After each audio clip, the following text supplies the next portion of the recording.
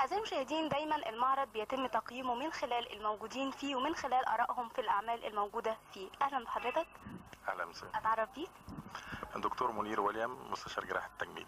أهلا بيك يا دكتور. والنهاردة إحنا عايزين نعرف هل حضرتك دائم التردد على المعارض بصفة عامة ولا حضرتك بتنتقي نوعيات معينة من المعارض تحضرها؟ آه، الحقيقة آه، دايما المعارض دي آه، بتشدني جدا ودايما بنتقيها وبحاول دايما أتتبع أخبارها وأكون دايما زبون دائم فيها.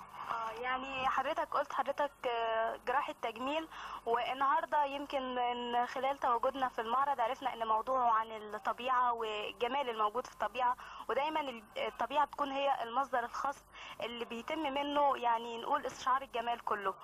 بالظبط. هي الحقيقة يعني زي ما انت شايفة اللوحات كلها فيها عمق جميل جدا. يعني أنا حاسس برضو إن مدام ملك في اللوحة دي بالذات ويمكن انت شفتيني أنا متعمق واقف قصادها كتير أنا حاسس بيها بخوف كبير. حاسس إن ضباب رياح سحاب طبيعة ما تعرفيش فين أولها وفين آخرها وإيه اللي ورا الجبال والناس دي فين والطبيعة ماشية إزاي. الحقيقة ده مصدر إلهام بالنسبة للفنان. نفس الحكاية بالنسبة لجراح التجميل.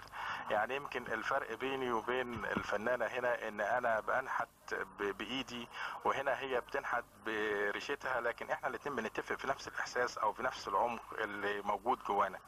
عشان كده دايما نقول إن المعارض دي بتشدنا جدا ويمكن الواحد في داخل نفسه دايما يميل إلى الجمال وإلى الطبيعة.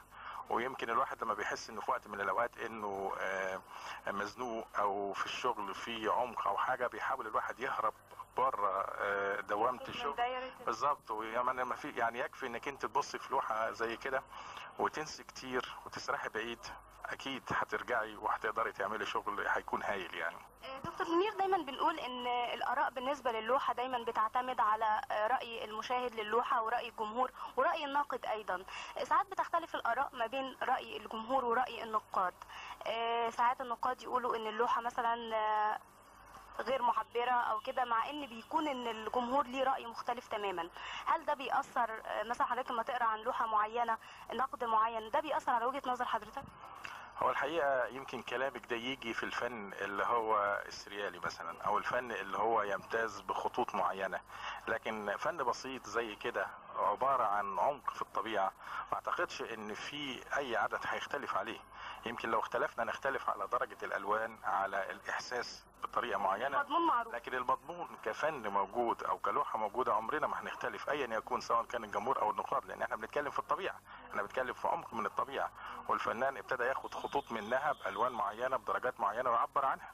نفس الحكاية في جراحات التجميل يمكن بنبص نلاقي إن آه، لو في عملية معينة وجبنا ثلاث جراحين تجميل يعملوها الثلاثه هيعملوها بثلاث طرق شكل. يعني كل واحد إن. الفنان بياخد مصدر إلهام من الطبيعة الموجودة بالظبط. جراحة التجميل بقى بتاخد المصدر من إيه هي هي عبارة عن خبرة معينة جراحية لكن الأهم منها إن زي ما أنا قلت لك دلوقتي لو اتفقنا على عملية معينة هيعملها ثلاث جراحين تجميل ممكن تطلع بثلاث أشكال مختلفة. هي كل واحد مدى إحساسه بالمنظر اللي قدامه وبحاجة الشخص اللي قدامه وفي الآخر بيطلع نتيجة معينة. هي نفس الحكاية لو جبنا نفس المنظر ده وجبنا خمس فنانين قدامهم هنلاقي كل واحد يعبر عن المنظر أو اللوحة دي بعمق معين. يختلفوا في الألوان يختلفوا في العمق يختلفوا في درجة اللون نفس الحكاية بالنسبة لي أنا كجراح تجميل